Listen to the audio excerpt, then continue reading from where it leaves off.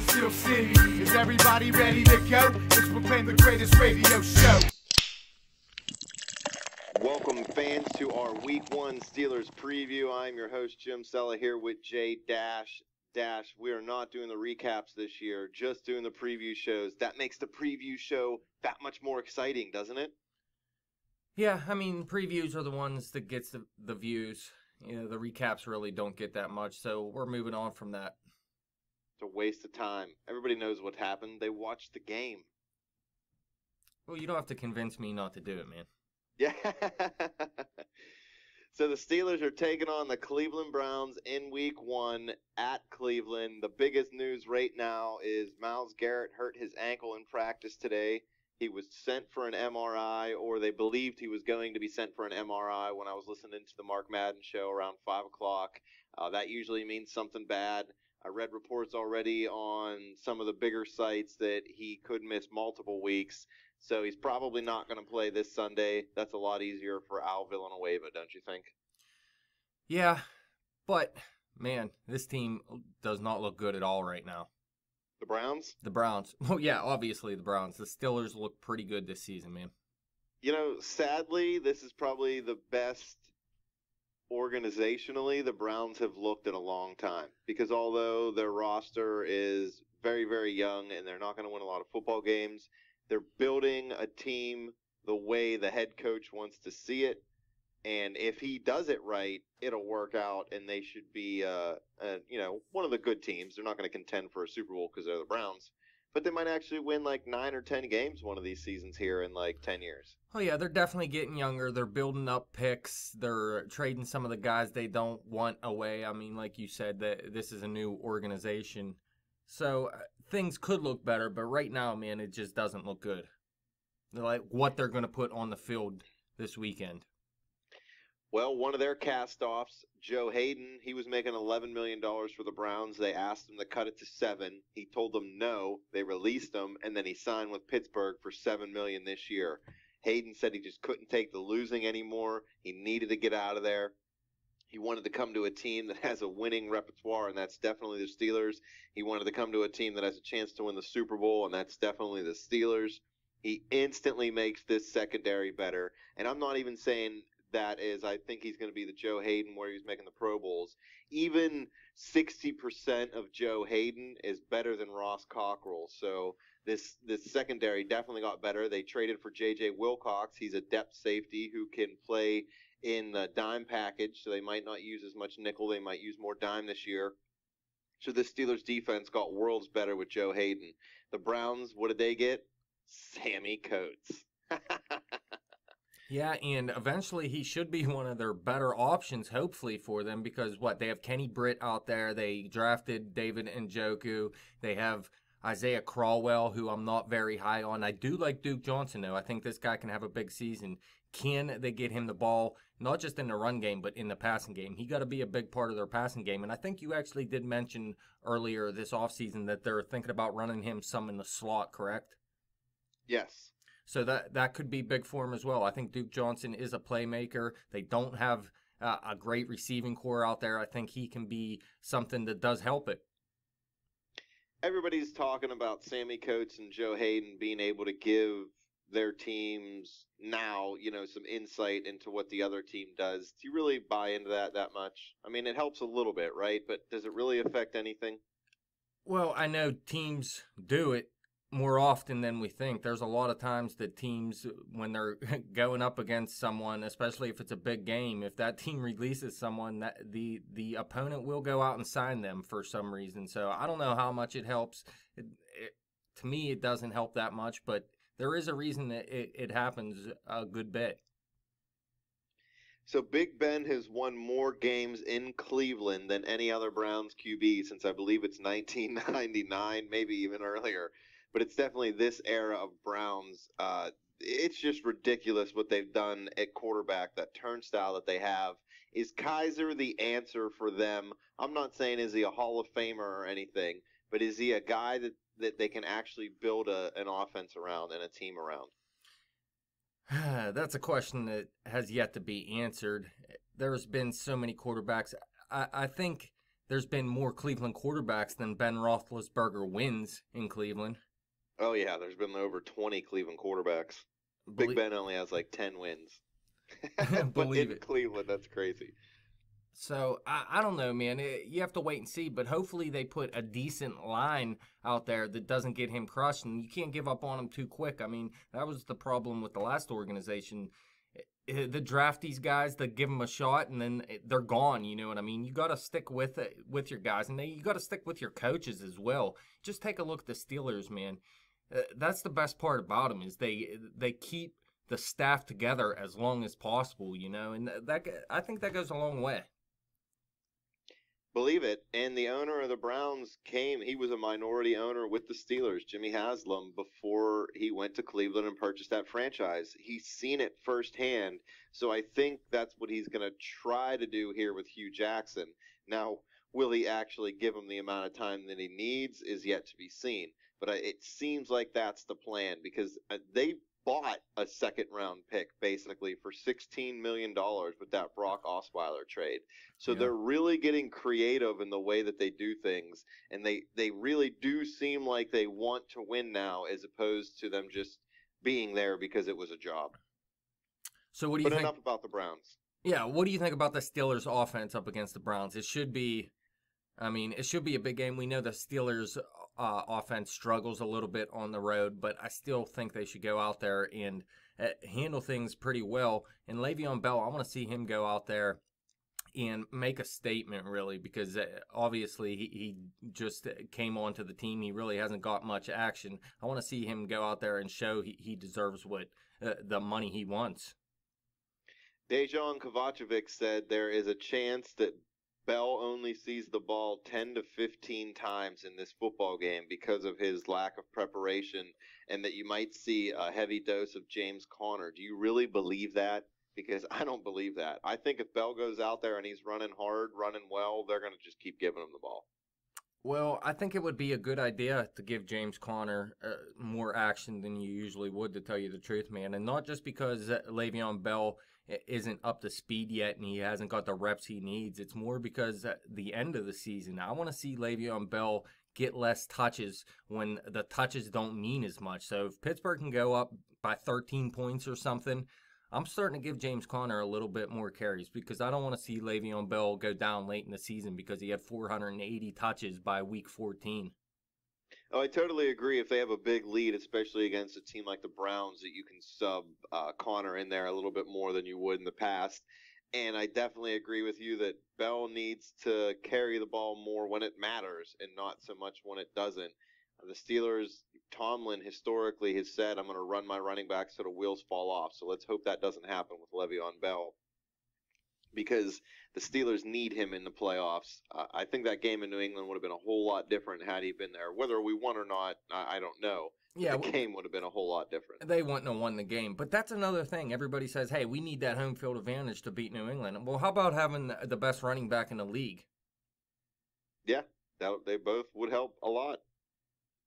What do you think about Martavis Bryant coming back? This guy hasn't played football in over a year. Can he come out and produce, or is he going to be rusty?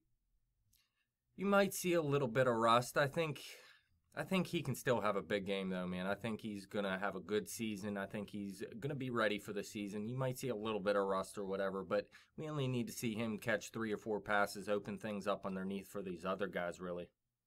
That's what I was just going to say. He's really, at least early, is going to just be that deep threat guy. So he's just going to have to pretty much run downfield and catch the football or catch some fade passes in the end zone, uh, in the red zone.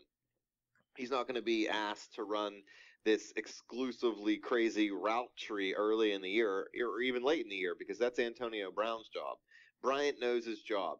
Push the field, back the safeties up off the line of scrimmage, make room for Le'Veon Bell. And if he drops two passes a game, it doesn't matter if he's catching four for 95 yards and a touchdown. All right, let's move to the defense real quick. Happy birthday to Ryan Shazier It's his birthday when? today, This day that we're recording Today. right now? September 6th, 2017, Ryan Shazier's birthday. Very nice. Hopefully for a He- birthday present he stays healthy. Please believe, I'd love that. This defense is much improved to me. Like I said at the beginning of this episode, Joe Haden opposite Artie Burns. I've been hearing nothing but good things about Artie Burns from training camp. People have been saying this guy's holding his own against Antonio Brown.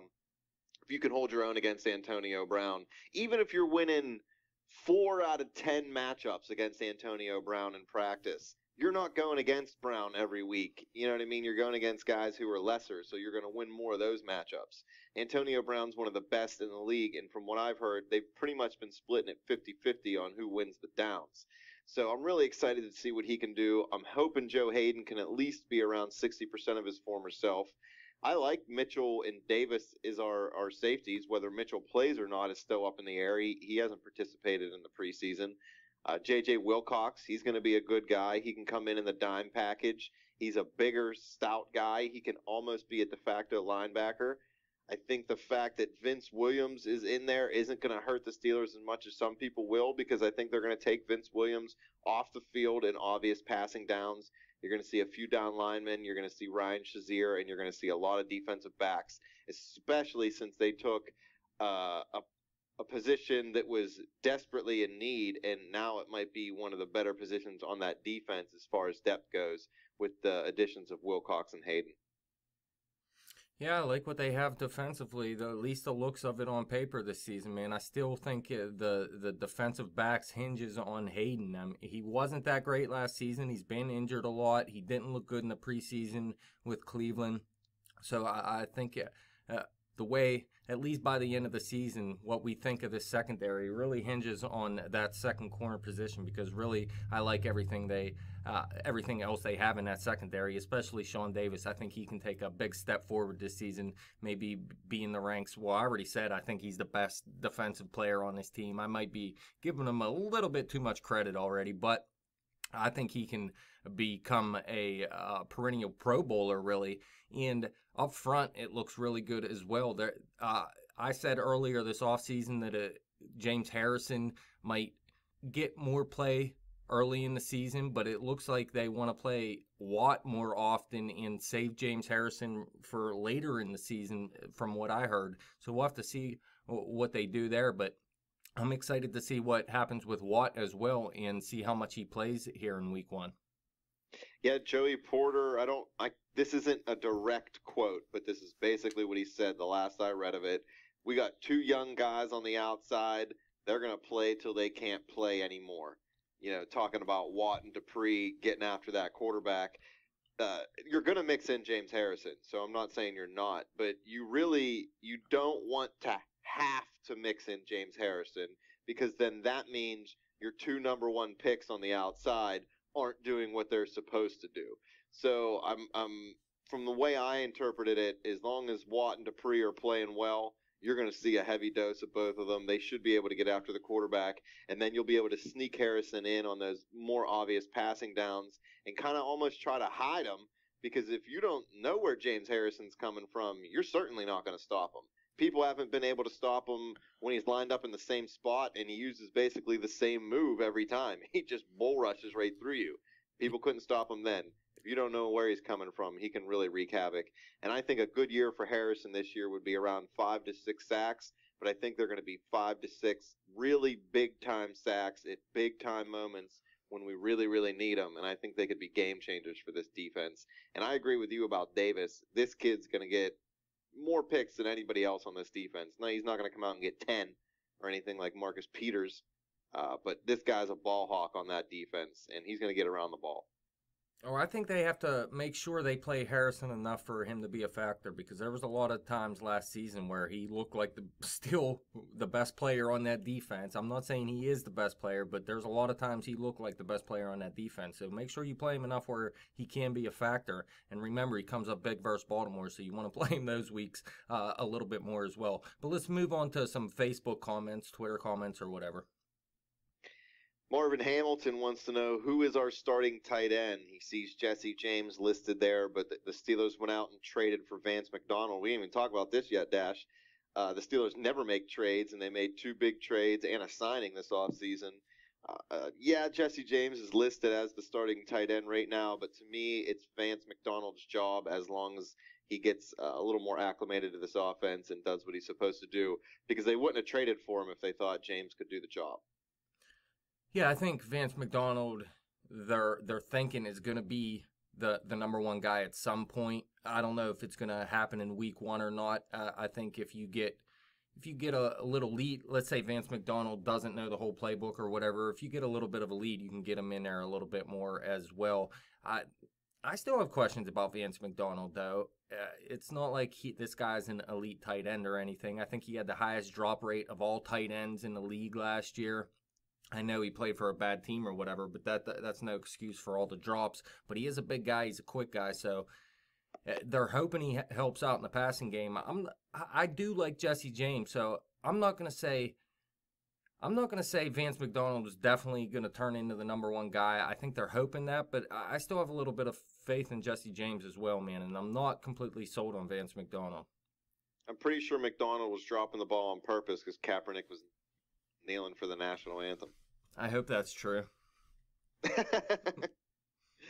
Steelers new cornerback Joe Haden bought the number 21 from Robert Golden. Would you buy a number from a player if you were an NFL player? Uh, I le- I think they got to do a better job managing their money as a whole. I'm not picking on any player. So uh, I mean th- that's up to you. It, it depends on your financial situation and how you are preparing for the future. If you have your future set up then go ahead and buy that number. But if you have eight cars that cost two hundred thousand dollars in your driveway, I'd keep that money. Yeah, I never really understood it. I know the numbers have sentimental value to some people, but Haden didn't wear this number 21 in Cleveland. I don't know what number he wore in college. Some people are speculating it's because he wants to wear the same number as Deion Sanders. But if I'm Robert Golden, I'm taking the money all the time because Golden's a fringe player. I mean, he's been on the roster a few years now, but he he is in no way, shape, or form solidified. You know, his spot on a roster every year. He's got to scratch and claw for it. So I'm taking the money if I'm Golden, but if I'm Haden, I'm not buying a number. Come on, man, just wear another number. You know what Golden did too? all he did was go and take number 20 because they put Cam Sutton on IR, so you lose rights to your number. so he went and stole Sutton's number. Nice. It's hilarious. Come on now, guys. Would you have been mad if the Steelers let the Dolphins play at Heinz Field this week? No, I thought it'd been pretty cool. Why would I be mad? Oh man, all almost all the people in this Facebook group that I'm in were furious. You can't let these bleeping Dolphins come in here. This is our home. Only the Steelers play here. And I, I, you know, tried to mention to these people that every time we play a home game, another team does play there. So only the Steelers. That that's not a true statement. but they just kind of told me that I was an a hole and kept ranting and raving how two neutral teams shouldn't be allowed there these these cities are like floating away into the ocean right now because of these hurricanes. It people are worried about whether or not a, a neutral team's getting on the field. It's getting out of hand on social media. Dash. Yeah, that's all garbage to me. I, it'd be nice to have another team come in. Just have another NFL game at your stadium. It'd be great to have that. I, I don't see the big problem. And the, there's a reason they had to postpone his game. And now that you don't want him here in Pittsburgh, I got to have Mike Evans on my fantasy team play 16 freaking weeks in a row. Yeah, what's up with that? I mean, that's not cool at all. And I, I know you, you do what you got to do and whatever, but I can't believe they're going to make these two teams play 16 weeks in a row. And then if they make the playoffs, they got to make it all the way through. Like, that's crazy. That's going to be hard. What if it was the Houston Texans that needed our stadium? Would anybody care? I yeah, I don't know. I mean, some of these Steeler fans are crazy. They're ripping Terry Bradshaw all of a sudden in this group for no reason. He didn't even do anything right now, and people are calling him an a hole. Pretty funny. is that is that it for the comments? That's all we got this week. There's not too many good ones because the season hasn't started. It's mostly just memes about James Harrison. All right, we'll move on then. Three questions about the game I got for you here, man. Number one, there's still some questions about the Steelers' run defense. I'm not sh- so sure how prevalent it will be this week, seeing that they're going up against one of the weaker teams in the NFL. A team, would they win one la- one game last year? Yep. And they got lucky. So, h- how good is this defense going to be? I'll say over or under 57 yards rushing from the Cleveland Browns. I'm going to say under, man, because I'm big on this defense this year. I was big on the linebackers last year, and they got even better this year with the addition of J.J. Watt and the fact that Jarvis Jones got cut, who also got cut from Arizona, and he's, he's pretty much going to retire now because he's garbage. Uh, but the Steelers front seven, you got Hargrave, Tuitt and Heyward. Heyward's going to be healthy now. Tuitt's just about to get an extension. It's going to be any day before the beginning of this season. He's going to be primed and ready to play. You got Shazier, Dupree, Watt, all young, big physical football players. Williams, his strength is against the run. He's exposed when it comes to the passing game. So I, I really think the run game is going to get even better than it was. I think Kizer's going to struggle also, which really helps the run game or the run defense at least. Uh, this Cleveland offense, it's going to take them a while to get going and gel. A lot of young guys, a lot of moving pieces. I think the Steelers defense has a pretty easy day, and I really think they have an easy day against the run. The Browns are going to be behind, so they're going to be throwing it. Check downs to Duke Johnson all day. Two rookies, TJ Watt and James Conner, both should see some decent playing time in this game does either one of them make a splash play? I think Watt is going to have big plays all year. Uh, I'm not saying every game, uh, but he showed it in his first preseason game. I know it's just preseason and everything, but it was his first NFL game. He came out there. he got two sacks, kind of coverage sacks, but he was still in the right place at the right time the, the Steelers say they're going to play this guy and play him often, so he's going to have a lot of more chances to make a play than James Conner will. So I'm going to go with J.J. Watt. Dude, T.J. Watt. Did I say J.J. Watt? Oh, you said J.J. Oh, that's just because I love me some J.J. Watt. Yes, T.J. Watt. Thank you for correcting me. I think he comes out and gets a sack. Honestly. What about Conner? Do you think he finds the end zone on a short run or anything? Uh, you know, maybe if the Steelers are up big because Bell sat out for most of the preseason, he'll get some opportunities. But really, if they use Le'Veon the way they normally do, Conner will be lucky to touch the ball 10 times. So that's really just why I'm picking TJ over Conner. How about Terrell Watson? Any action? Nah. I mean, he might be our kick returner or punt returner, but he, I, don't, I don't think he's going to get the ball on offense. All right, last question. Joe Haden versus Sammy Coates. Will we see it? I think so. Uh, if if Haden really has slowed down, like people have said, especially some of the Browns people since he's left, they're going to try to go right after him. Coates is instantly the fastest player on their offense, so it would make sense to line him up and say, run straight down the field and see if Haden can keep up with you. The good news for Haden is Sammy Coates couldn't catch a cold if he was surrounded by 55 people with Ebola, shingles, the bird flu, the swine flu, AIDS, can't, anything. This dude can't catch anything, and his fingers are mangled from last year. Dude's garbage. So it doesn't matter if he makes it past Haden; he's not going to catch anything anyway. Dang, he's garbage now. Yeah, he's garbage. I didn't like Sammy Coates before. If you go back to our draft segment, I didn't like him because he dropped 20% of the passes that were thrown his way in college. The dude's a dropping machine. Well, you did say he'd have a thousand yards. Rate. You said he'd have a thousand yards last year. Yeah, I predicted a thousand yards because I didn't think he would only have two catches over the last eleven games or whatever it was. He would have had a thousand yards had he actually stayed on his pace through the first five games.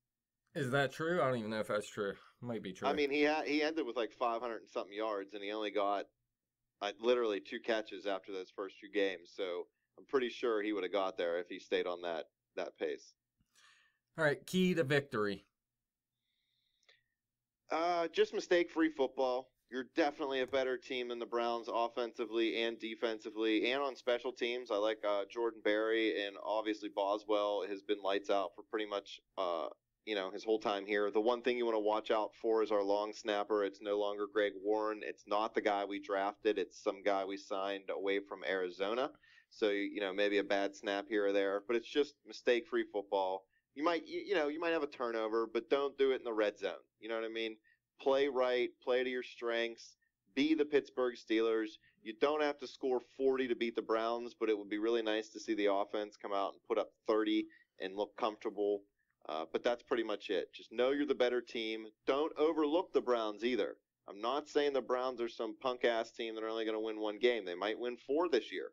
and we don't want one of them to be against us. Yeah, the key to victory really should be just be ready for week one this season, unlike the past few seasons. But in game, I would say as long as you're able to shut down Isaiah Crowell and Duke Johnson, which I think they'll be able to do, things will be really tough for the rookie quarterback out there. So I, I really think they'd have no chance if they can't get that run game going, which I really don't think they will. And I think they have no chance. Even if they did have the run game going, I'd probably still think Pittsburgh wins.